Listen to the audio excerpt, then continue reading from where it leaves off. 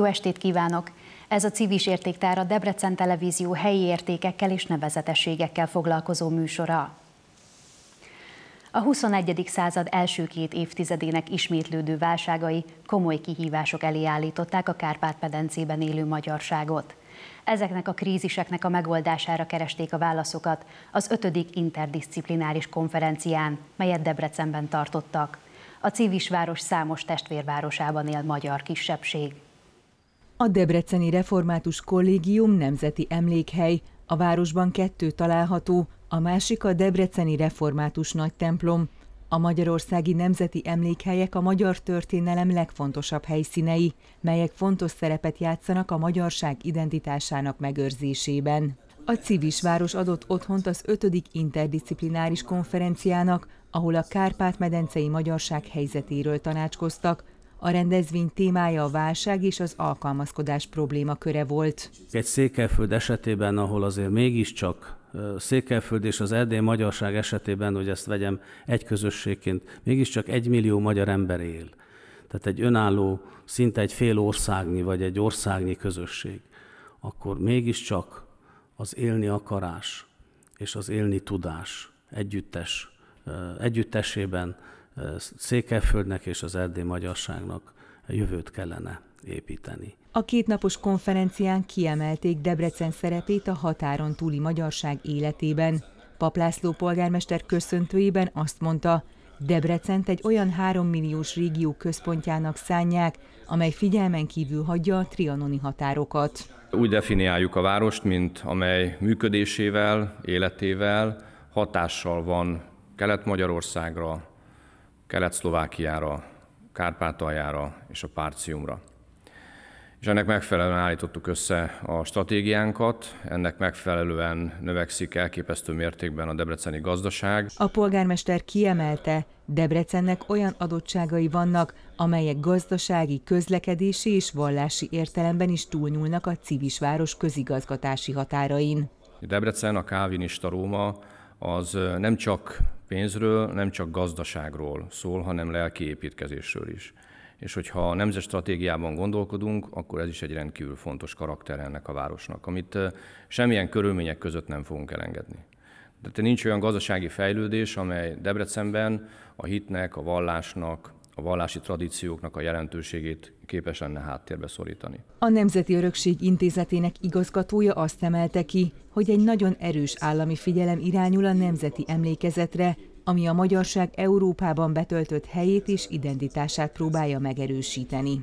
Magyarország kormányzati struktúrájában európai szinten is példát ritkító az a megoldás, ahogy a miniszterelnökség, mint a kormányzatnak az egyik központi stratégiai erőtere magába foglalja a nemzetpolitikai államtitkárságot, az egyházakkal és nemzetiségekkel foglalkozó államtitkárságot, és olyan háttérintézményei vannak, mint a Nemzet Stratégiai Kutatóintézet és a Nemzeti Örökség Intézete is, sok mással egyetemben. A két nap alatt csak nem száz előadás hangzott el 13 szekcióban. A konferencián a többi között olyan fontos társadalmi problémákra kerestek megoldást, mint a magyarság népességfogyása, de érintették az oktatási és egészségügyi rendszerek helyzetét is. Emellett számba vették azokat a válságokat, amelyek a határon túli magyar közösségeket is érték az elmúlt években, például az orosz-ukrán háború. A debreceni templomajtók is szélesre tárva várják a turistákat. Fontos az értékek megőrzése. A többi között ezt hangsúlyozták a második Nemzeti Vallásturizmus Fórumon, ahol az egyházi, állami és világi szakemberek a szakrális turizmusról tanácskoztak. Paplászló polgármester úgy fogalmazott a rendezvényen, a szakrális helyeknek nem pénzben megfizethető szolgáltatást kell nyújtaniuk a látogatóknak, hanem lelki felüdülést. Hazám,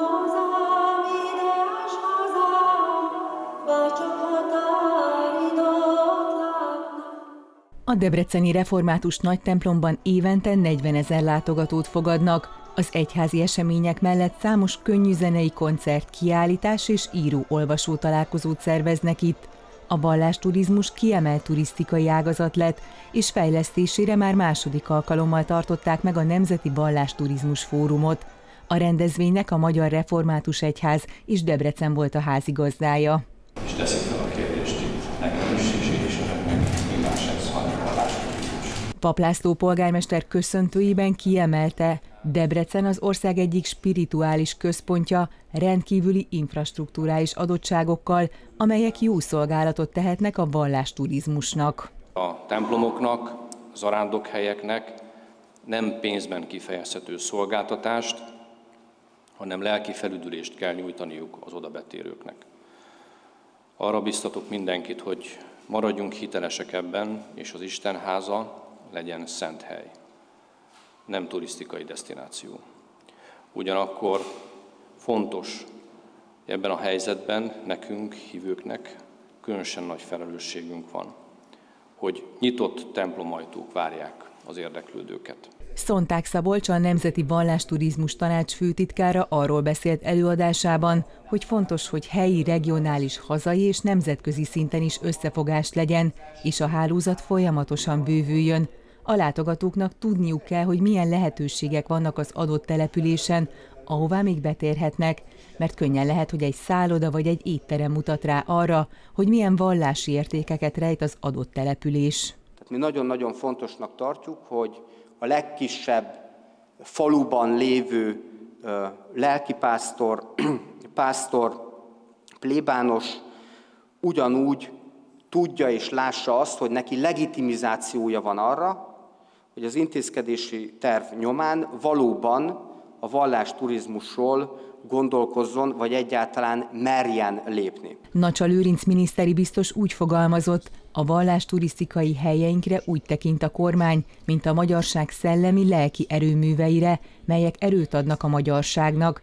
Ezek a helyek megérdemlik, hogy kiemelt figyelem jusson nekik. Mi az elmúlt 13 évben több mint 3000 templomot újítottunk föl, és több mint 250 új épült. Ez azt mutatja, hogy amíg Nyugat-Európában lebontják, bezárják és átalakítják a templomokat, addig mi büszkék vagyunk az épített örökségünkre, büszkék vagyunk a lelki örökségünkre, és nem csak örökségként tekintünk erre, hanem mint a jövőnk. És ezért fontos megőrizni ezeket a helyeket, ezért fontos fejleszteni a vallásturisztikai élmény szempontjából, a hozzáférhetőség szempontjából, a láthatóság szempontjából. A miniszteri biztos hozzátette, Nyugat-Európával ellentétben az odalátogatók nem csak üres falakat, szép műalkotásokat, hanem élő közösségeket találnak.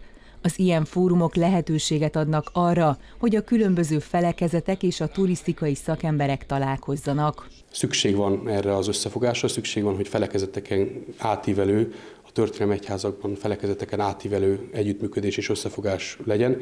Nem engedhetjük meg a ma Európájában azt a luxust, hogy ne figyeljünk és ne hallgassunk egymásra. A Nemzeti Ballásturizmus Fórumon kerekasztal beszélgetéseket és előadásokat hallhatott a közönség. A többi között érintették a vallásturizmushoz kapcsolódóan a kommunikációt és az adminisztrációt is. 97 éves korában elhunyt Fahidi Éva, aki idén áprilisban a Városnapján kapta meg Debrecen díszpolgári címét. A holokauszt túlélő a rasszizmus, az antiszemitizmus elleni küzdelem világszerte ismert alakja volt. A Médiacentrum Debrecen portréfilmet készített Fahidi Éváról. Most ezt láthatják. Fahidi Éva Debrecenben született, és itt is érettségizett 1943-ban a Svetics Katolikus Leánynevelő Intézetben. 1944. június 26-án a családjával együtt innen hurcolták koncentrációs táborba, ahol nem csak szüleit és egyetlen testvérét, hanem a holokauszt során összesen 49 családtagját veszítette el. A világháború végén egy halálmenetből szökött meg, s került később haza Magyarországra. Külkereskedőként ment nyugdíjba. 2003-ban a Stadtallendorfi Múzeum felkérésére németül írt egy visszaemlékezést, majd 2005-ben Anima Rerum, a dolgok lelke címmel jelentek meg emlékiratai, melynek egy részéből Németországban tankönyvi szöveg lett. Túlélőként, kortárs szemtanúként különböző hazai és nemzetközi rendezvényeken vesz részt, rendszeresen felemeli hangját a rasszizmus, az antiszemitizmus ellen a nemzetközi és a magyar sajtóban. Azt mindig felteszik, hogy hogy lehetett utolélni, és hogy lehetett életben maradni. Akkor mindig azt szoktam mondani, hogy a közösség erejével, a szeretet erejével. Számomra nincs ennél fontosabb dolog. Számomra nincs fontosabb dolog ennél, mint hogy ennek a szörnyűségnek fennmaradjon az emléke, és hogy ne legyen egy olyan fiatal ezentúl, akinek szimpatikus legyen egy ilyesfajta magatartás. Tehát senkinek ne legyen szimpatikus egy bármiféle gyűlölettel együtt járó álláspont. Küldetésének tekinti, hogy a fiatal generáció megőrizze a holokausztot az emlékezetében. Több debreceni középiskolában, egyetemi és városi rendezvényen is találkozott már a fiatalokkal, konferenciákon, kiállításokon vett részt és képviselte küldetését. 2015-ben főszerepet vállalta a Tünet Együttes Sóvirág című modern táncprodukciójában, majd a Létezés eufóriája című filmben, melyek életét, az őt ért traumákat elevenítik meg.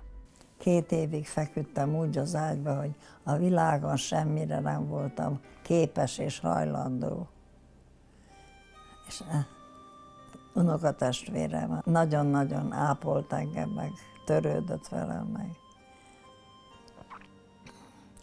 És azt mondta nekem, hogy májusban megyünk a Tátrába, de te is jössz velünk. És felmentünk a Tátrába, és, és ez egy olyan megrázó élmény volt, pozitív élmény, hogy mondtam, most akkor elkezdjük újra. Kezeink munkáját tedd maradandóvá. A 90. Zsoltár 17. verséről kapta a címét Kis Árpádné palást készítő népi iparművész kiállítása. Az Újvárosházán január közepéig látható tárlat az egyházi viseletek mellett a cívisek jellegzetes öltözékeit is bemutatja. Ez a tíz éves Debreceni értéktár idei utolsó kiállítása. Református öltözékek és hétköznapi viseletek, például kosztümök egyaránt láthatóak Kisárpádné kiállításán.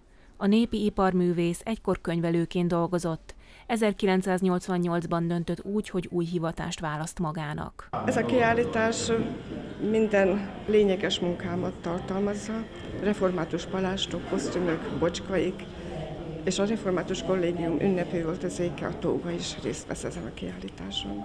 A tárlaton kiemelt szerepet kapott a református lelkipásztorok viselete, a palást. Kis Árpádné minden munka folyamatot maga végezel. Szerinte a palást egyedi és különleges, minden részletében azt a lelkész tükrözi, aki megrendelte. Először is meg kell beszélni a lelkésszel, hogy milyen motivumot szeretne választani, a saját alkotásaimból olyat választanak, ami az ő egyéniségükhöz a leginkább illik. És utána készítem el a palástot a megfelelő méret megvétele után, és a kiválasztott anyag után. A református egyházban a palást nem tartalmaz rangjelzéseket, célja, hogy megkülönböztesse a hívőt a lelkipásztortól.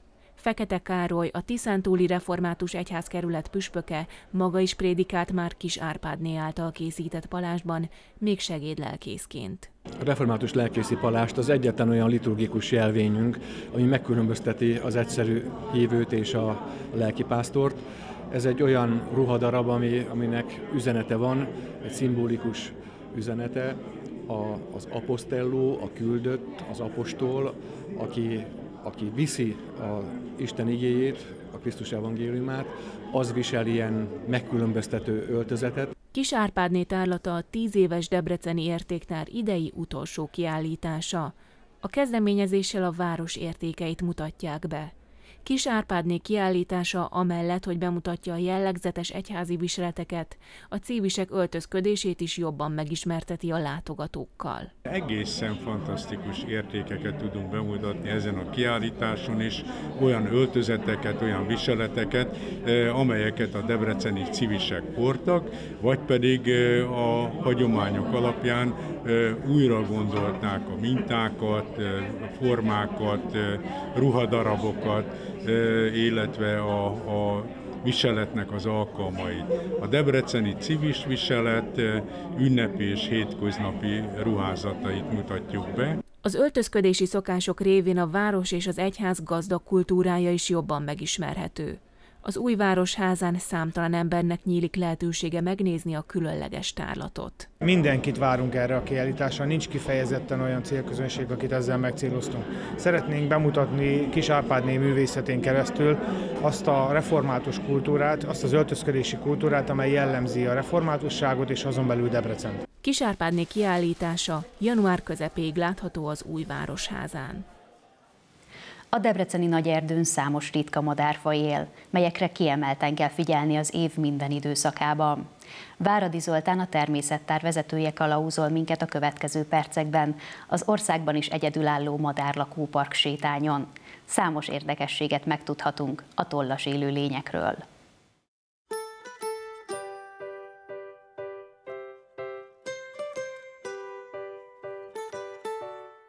A debreceni nagyerdőn a téli hónapokban is sokan kirándulnak, a hideg időjárás beköszöntével egyre kevesebb élelmet találnak a vadon élő állatok, a látogatók maguk is segíthetnek a madarak etetésében.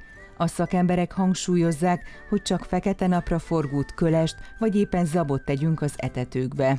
A Debreceni parkerdő több mint száz éves fái között rengeteg madárfajjal találkozhatunk. A mindenki által ismert kék és szintszínege mellett vannak csuszkák, rigók és egy csomó minden más, úgyhogy elő a madárhatározóval és a távcsövekkel, hajrá, indulhat az első természetbúvár kaland. A madárlakópark sétányt tavaly alakították ki. A 16 állomásból álló útvonalon a kirándulók megismerhetik a Debreceni parkerdő jellegzetes állatait. Minden állomásra kihelyeztek egy-egy táblát, melyekről tájékozódhatnak az adott állomáson látottakról. A Madárlakópark sétányt elsősorban természetvédelmi jelleggel hoztuk létre, meg persze van benne egy kis oktatás is. Szeretnénk kedvezni azoknak a fajoknak, amelyek itt előfordulnak az erdőben, és bemutatjuk azokat a különböző természetvédelmi lehetőségeket, például odukat és egyéb ilyen védelmi eszközöket, amelyeket bárki bárhol kitehet, és így gyakorlatilag egy kicsit jót tesz a természetért, a madarakért és társaikért. A Madárlakópark sétány Tanulmányon számos madárodú megtalálható, a fajoknak megfelelő méretű helyet alakítottak ki, de nem csak a tollas élőlényekre figyeltek a szakemberek. A madárlakópark sétányon nem csak madaraknak, hanem más állatoknak is szeretnénk kedvezni, és amit itt látunk, ez a lepkeházacska, ugye itt a figyelemfelhívó táblája, ott pedig fent maga a kis objektum. Ez azért van, mert ugye a lepkék egyet fejlődésével mindenki tisztában van az általános iskolai tanulmányaiból. Tudjuk, hogy van egy pete, a petéből lesz egy lárva, ezt a lepkék esetében hernyónak nevezzük, ami később bebábozódik, és ebből majd kell a kifejlett lepke. A lepkék egy része egyébként pete, más része hernyó, harmad része bábformában telelát, de van néhány lepke, amely kifejlett lepke lepkeként, és ezek, amikor már jönnek az őszi hidegek, a napsütéses órák száma is csökken, a táplálék is egyre kevesebb, el fognak húzódni. Például fakéreg alá, redőnytokokba, cserepek alá. Egy ilyen lepkeházaska kihelyezésével pedig megkönnyítjük ezeknek a lepkéknek a helyzetét, hiszen könnyen találnak menedéket. A természettár és környezeti nevelés programjai a Debreceni értéktár része. A város számára kiemelten fontos a természettudományos ismeretek bővítése és népszerűsítése, valamint a környezettudatos és természetvédő magatartás kialakítása. A Debreceni Nagy Erdő egyébként hazánk első természetvédelmi területe, és tele van olyan kincsekkel, amik itt a miénk, és legyünk lokálpatrióták, szeressük ezt a várost, és vele együtt az erdőt is, és az erdő összes lakóját. Ez egy nagyon-nagyon jó helyszín arra, hogy megismerjük a természet kincseit és csodavilágát. A Debreceni Nagy Erdőt idén az Agrárminisztérium internetes közönségszavazásán Magyarország legszebb erdejének választották. Ez volt a Cívis Értéktár. Új adással legközelebb egy hónap múlva jelentkezünk. Köszönjük egész szíves figyelmüket, viszontlátásra!